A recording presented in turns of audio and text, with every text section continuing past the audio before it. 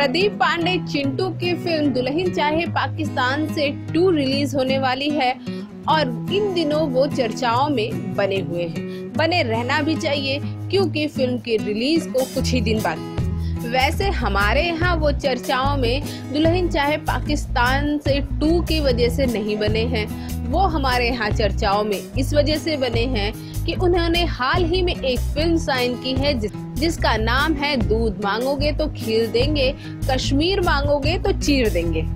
अब आप सोच रहे होंगे कि इसमें ऐसा क्या खास है कि इस फ़िल्म की वजह से वो हमारे यहाँ चर्चाओं में है। इस फ़िल्म में वो खास बात है जो हम अब आपको बताने वाले हैं। इस फ़िल्म को पहले पवन सिंह साइन करने वाले थे, लेकिन एन वक्त पर बाजी मार ली प्रदीप पांडे चिंटू ने।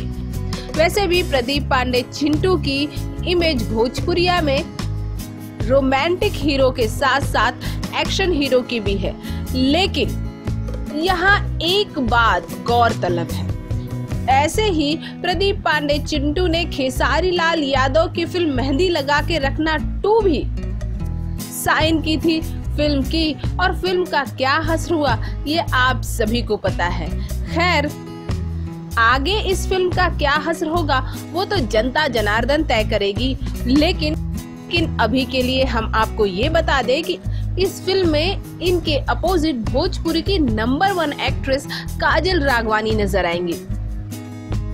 फ़िल्म का ज़्यादातर हिस्सा कश्मीर में शूट होगा और फ़िल्म के टाइटल से ही ज़ाहिर हो रहा है कि फ़िल्म पूरी तरह से एक्शन पैक फ़िल्म होगी। यह फ़िल्म अगले साल 2019 में रिलीज़ हो जाएगी। भोजपुरी जगत की हॉट और मसालेदार गॉसिप के लिए हमें सब्सक्राइब करना बिल्कुल ना भूलें